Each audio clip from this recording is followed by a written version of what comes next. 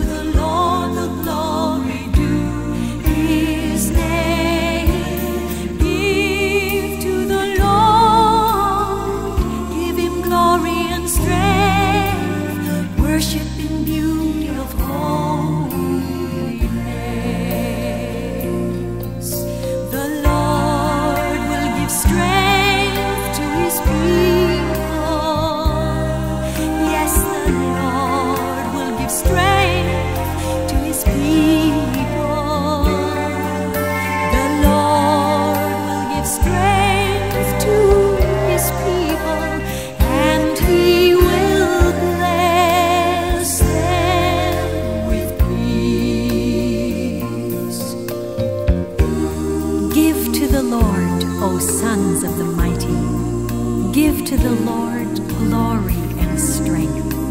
Ascribe to the Lord the glory due his name. Worship the Lord in the beauty of holiness.